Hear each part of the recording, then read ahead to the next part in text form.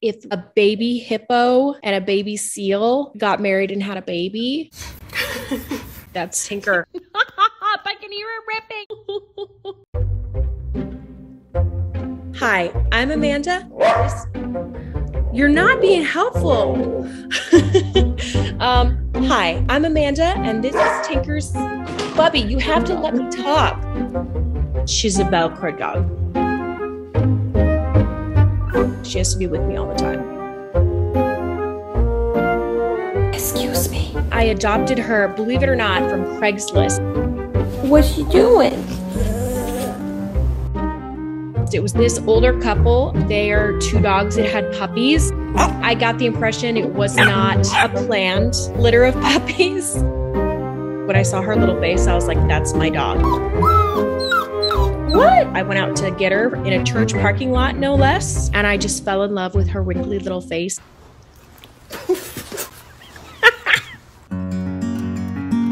Tinker has a very interesting personality. She always just looks like she's so sad. People are like, "Why is your dog sad?" And I'm like, "Not, she's not. She's really obnoxious and, and sweet."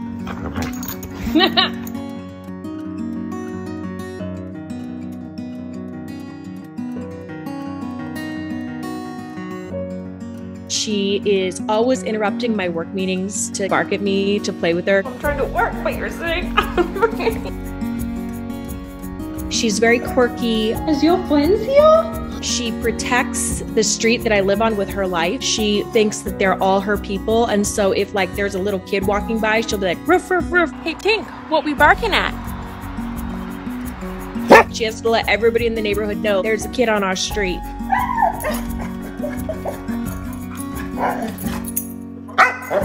She's named after my grandfather, who I never met. He worked on cars, and everybody called him Tink. Sometimes she has this big smile on her face. She always has to have a paw on me when we're sitting together. She always has to check that I'm there. She will look over her shoulder at me, and it's just the cutest thing you've ever seen. It just makes me melt. Like she always is like, Mom, are you still here? She's actually half boxer and half Old English Bulldog. They say bulldogs aren't very smart, but she's a smart cookie. She has very strange fears. She hates balloons. She didn't like my toenails, so she barked at them for a while till she got used to them.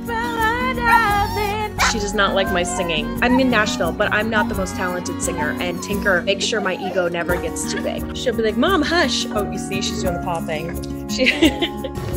Come on. She hates rain. She's an inside dog. Even when I'm not there, she just sits there and watches TV. She likes the lake. She goes to the lake with my parents' dog Annie. And uh, you do like the lake, huh? And you like Annie.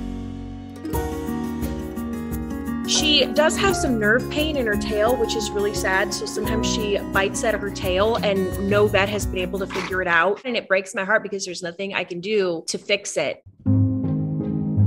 I get up just to snuggle her before I have to start my workday, and she crawls into my arms and hugs me.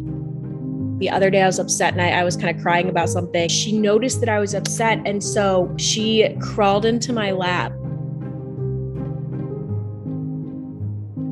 I tell her every day I love her and she's the best dog in the world.